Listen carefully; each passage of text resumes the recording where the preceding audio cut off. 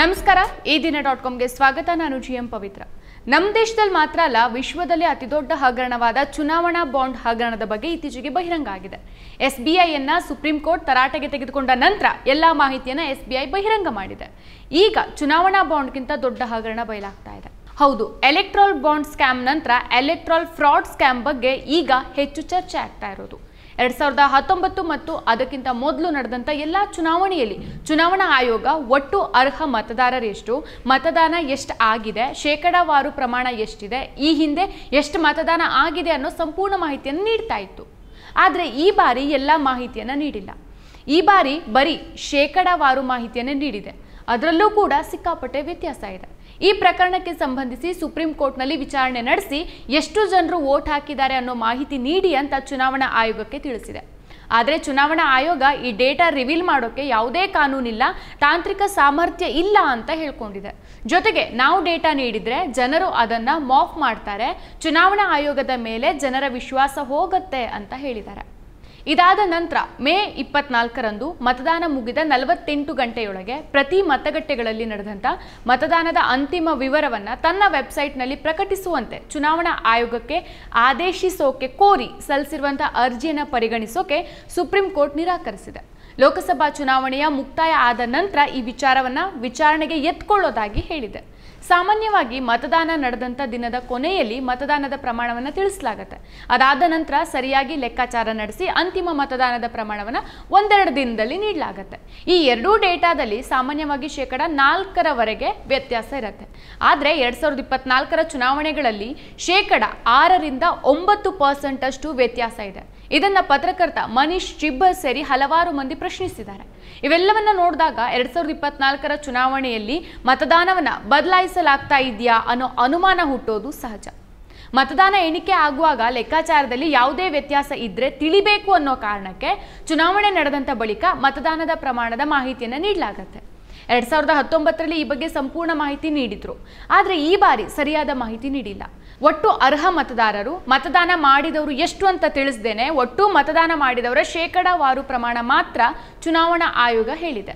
ಚುನಾವಣೆ ನಡೆದ ದಿನ ನೀಡಿದ ಡೇಟಾಗೂ ನಂತರ ನೀಡಿದ ಡೇಟಾಗೂ ಭಾರಿ ವ್ಯತ್ಯಾಸ ಇದೆ. ನಾಲ್ಕು ಹಂತಗಳ ಚುನಾವಣೆಯಲ್ಲಿ ಪ್ರೈಮರಿ ಡೇಟಾಗೂ ಫೈನಲ್ ಡೇಟಾದ ನಡುವೆ ಒಂದು ಕೋಟಿ ಮತಗಳ ವ್ಯತ್ಯಾಸ ಇದೆ. ಫೈನಲ್ ಡೇಟಾದಲ್ಲಿ ಹೆಚ್ಚುವರಿ ಒಂದು ಪಾಯಿಂಟ್ ಸೊನ್ನೆ ಏಳು ಕೋಟಿ ವೋಟಿಂಗ್ ದಾಖಲಾಗಿದೆ. ಈ ಎಲ್ಲ ಮಾಹಿತಿಯನ್ನು ನೀಡೋದಕ್ಕೆ ಎಲೆಕ್ಟರಲ್ ಟ್ರಾನ್ಸ್ಪರೆನ್ಸ್ ಅಂತ ಕರೀಲಾಗತ್ತೆ. ಆದರೆ ಇಲ್ಲಿ ಈಗ ಟ್ರಾನ್ಸ್ಪರೆನ್ಸ್ ಕಣ್ಮರೆ ಆಗ್ತಾ ಇದೆ. ಪ್ರತಿ ಕ್ಷೇತ್ರದಲ್ಲಿ ಎಷ್ಟು ಅರ್ಹ ಮತದಾರರು ಇದ್ದಾರೆ ಅನ್ನೋ ಡೇಟಾವನ್ನೇ ಚುನಾವಣಾ ಆಯೋಗ ಬಿಡುಗಡೆ ಮಾಡಿಲ್ಲ. ಹೀಗಿರುವಾಗ ಜನರು ಚುನಾವಣಾ ಆಯೋಗದ ಮೇಲೆ ನಂಬಿಕೆ ಇಡೋದು ಹೇಗೆ? ನಂಬಿಕೆ ಕಳ್ಕೊಳ್ಳೋದ್ರಲ್ಲಿ ತಪ್ಪೇ ಇಲ್ಲ. ಸಾಮಾನ್ಯವಾಗಿ ಪೋಲಿಂಗ್ ಬೂತ್ ಲೆವೆಲ್ನಲ್ಲೇ ಮತದಾನದ ಲೆಕ್ಕಾಚಾರ ಮಾಡಲಾಗತ್ತೆ. ಪ್ರತಿ ಪೋಲಿಂಗ್ ಬೂತ್ನಲ್ಲೂ ಒಬ್ಬರು ಬೂತ್ ಮಟ್ಟದಲ್ಲಿ ನಡೆಯುವಂಥ ಚುನಾವಣೆ ಕಾರ್ಯವನ್ನು ಪರಿಶೀಲಿಸುವ ಪ್ರೀಸೈಡಿಂಗ್ ಆಫೀಸರ್ ಅಂತ ಇರ್ತಾರೆ. ಪ್ರತಿ ಬೂತಲ್ಲೂ ಬೇರೆ ಬೇರೆ ಪಕ್ಷದ ಪೋಲಿಂಗ್ ಏಜೆಂಟ್ಗಳು ಕೂಡ ಇರ್ತಾರೆ. ಚುನಾವಣೆ ಆದ ನಂತರ presiding officer form seventeen C ಅನ್ನ ತಮ್ಮ ಬೂತ್ನಲ್ಲಿ ಎಷ್ಟು ಮತದಾನ ಆಗಿದೆ ಅನ್ನೋ ಲೆಕ್ಕಾಚಾರದಲ್ಲಿ ಬರೀತಾರೆ. ಅದು ಕೂಡ ಇ ವಿ ಎಂ ವಿ ಡೇಟಾಗೆ ಅನುಗುಣವಾಗಿ ಬರೆಯಲಾಗುತ್ತೆ. ಕ್ಷೇತ್ರದ ಎಲ್ಲ ಬೂತ್ನ ಪ್ರೀಸೈಡಿಂಗ್ ಆಫೀಸರ್ಗಳಿಂದ ಕ್ಷೇತ್ರದ ರಿಟರ್ನಿಂಗ್ ಆಫೀಸರ್ ಈ ಮತದಾನದ ಡೇಟಾವನ್ನು ಒಳಗೊಂಡ ಫಾರ್ಮ್ ಸೆವೆಂಟೀನ್ ಸಿ ಅನ್ನ ಕಲೆಕ್ಟ್ ಮಾಡ್ತಾರೆ. ಇದರ ಲೆಕ್ಕಾಚಾರ ಮಾಡಿ ಪರ್ಸೆಂಟೇಜನ್ನು ನೀಡಲಾಗತ್ತೆ. ಇನ್ನು ಒಟ್ಟು ಮತದಾರರ ಲೆಕ್ಕಾಚಾರ ಚುನಾವಣಾ ಆಯೋಗದ ಬಗ್ಗೆ ಚುನಾವಣೆ ನಡೆಯೋ ಮುಂಚೆನೇ ಇರುತ್ತೆ. ಆದರೆ ಡಿಜಿಟಲ್ ಇಂಡಿಯಾ ಯುಗದಲ್ಲೂ ಚುನಾವಣಾ ಆಯೋಗ ಈ ಮಾಹಿತಿಯನ್ನು ನೀಡಲ್ಲ. ಕೆಲವು ಬೂತ್ಗಳ ಟೋಟಲ್ ವೋಟರ್ ಡೇಟಾವೇ ಚುನಾವಣಾ ಆಯೋಗದ ವೆಬ್ಸೈಟಲ್ಲಿ ಇಲ್ಲವೇ ಇಲ್ಲ. ನಾವು ಸರ್ಚ್ ಮಾಡಿದಾಗಲೂ ಕೂಡ ಎರರ್ ಅಂತ ಬಂದಿದೆ. ವೋಟಿಂಗ್ ಹೆಚ್ಚಳಕ್ಕೆ ಕಾರಣವನ್ನು ಸಹ ತಿಳಿಸಲಿಲ್ಲ. ಈ ಎಲ್ಲ ಗೊಂದಲಕ್ಕೆ ಚುನಾವಣಾ ಆಯೋಗ ಒಟ್ಟು ಅರ್ಹ ಮತದಾರರ ಸಂಖ್ಯೆ ತಿಳಿಸೋದು ಒಂದೇ ಪರಿಹಾರ. ಆದರೆ ಚುನಾವಣಾ ಆಯೋಗ ಮಾತ್ರ ಈ ಡೇಟಾ ನೀಡೋಕೆ ಒಪ್ತಾ ಇಲ್ಲ. ಇದನ್ನ ಕಾಂಗ್ರೆಸ್ ಅಧ್ಯಕ್ಷ ಮಲ್ಲಿಕಾರ್ಜುನ್ ಖರ್ಗೆ ಅವರು ಪ್ರಶ್ನೆ ಮಾಡಿದಾಗ, ಚುನಾವಣಾ ಆಯೋಗ, ನೀವು ಚುನಾವಣಾ ಆಯೋಗದ ವಿಶ್ವಾಸಕ್ಕೆ ಧಕ್ಕೆ ತರ್ತಿದ್ದೀರಿ. ನಿಮಗೆ ಮಾಹಿತಿ ಬೇಕಿದ್ರೆ ಎಲ್ಲ ಬೂತ್ನ ಏಜೆಂಟ್ಗಳ ಹತ್ರ ಫಾರ್ಮ್ ಸೆವೆಂಟೀನ್ ಸಿ ಇರತ್ತೆ, ಅದನ್ನು ಕಲೆಕ್ಟ್ ಮಾಡ್ಕೊಳ್ಳಿ ಅಂತ ಬಾಲಿಶವಾಗಿ ಉತ್ತರ ಕೊಟ್ಟಿದೆ.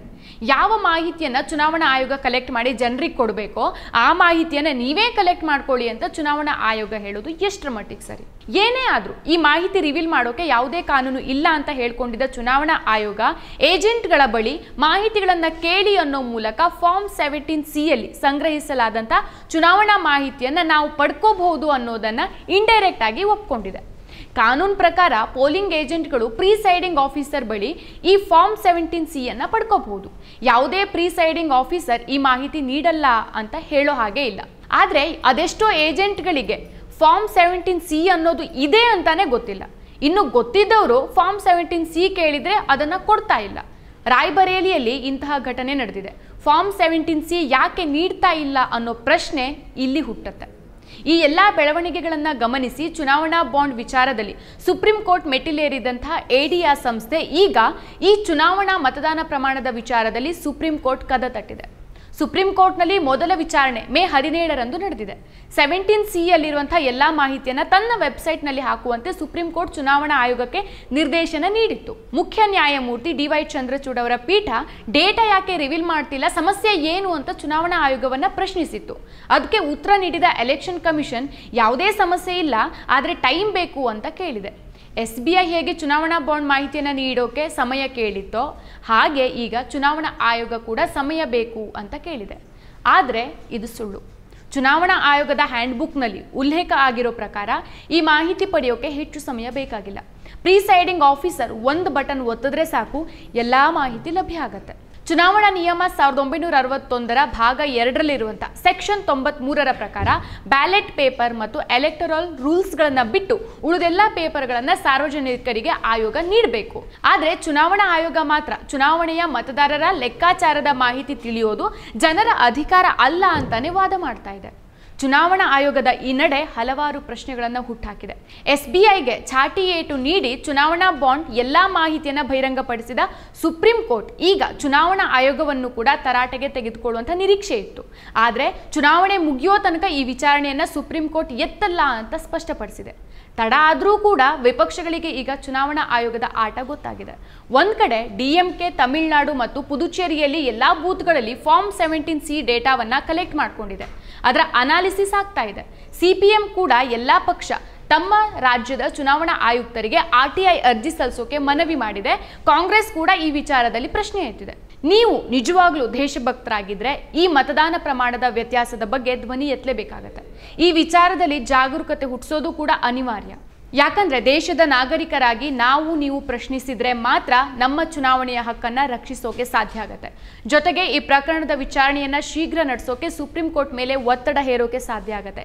ನೆನ್ಪಿರ್ಲಿ, ನೀವಿಂದು ಪ್ರಶ್ನಿಸದೇ ಇದ್ರೆ ಡೆಮೋಕ್ರಸಿಗೆ ನೀವು tata bye bye good bye ಹೇಳಬೇಕಷ್ಟೆ.